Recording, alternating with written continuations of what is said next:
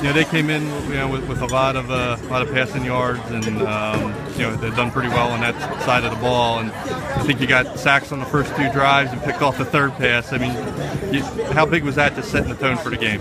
I mean, it was huge. We knew they were going to come in the game passing a lot, and our DBs did what they had to do. I I had to do, and everything worked out. Did you think looking at the film you'd be able to get a pretty good rush like you guys did?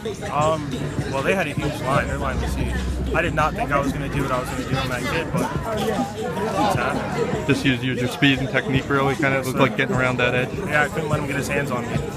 That you know, I think most people thought this was going to be a really competitive game. You know, you guys might get tested, and all of a sudden it's 48-6. What did you guys think? Everyone was doubting us, and we just had to show what we can do. Was that motivation? Because you guys haven't been doubted too much before. Yes, sir. Um, you know, did you guys think it was when you when you looked at them on film, and how dangerous of a team did you think they were? Um, well, they looked like Mount St. Joe's to us, which we lost to early in the season throwing the ball, and we just made all the changes we had to, and our DB stepped up, and we got it done. They said you didn't think maybe you guys would get the pressure you did. Was there any other surprises? I mean, does 48-6 surprise you? Um, that's how we're supposed to play. That's St. Joe football. That doesn't surprise me. We just did what we had to do. How you guys, you know, last four years, I think you lost two games. This year you lost two. Not a lot, but for you know this program it is.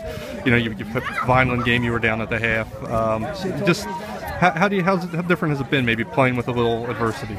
Well, it shows we've been coming. We've been starting out slow, and that's really been killing us. And today, coaches, everyone got us hype. We, the doubting actually was the motivation for us today, and we just got it done. We came out fired up. Alon breaking that first run just felt like it was going to kind of take off from there. Yes, sir.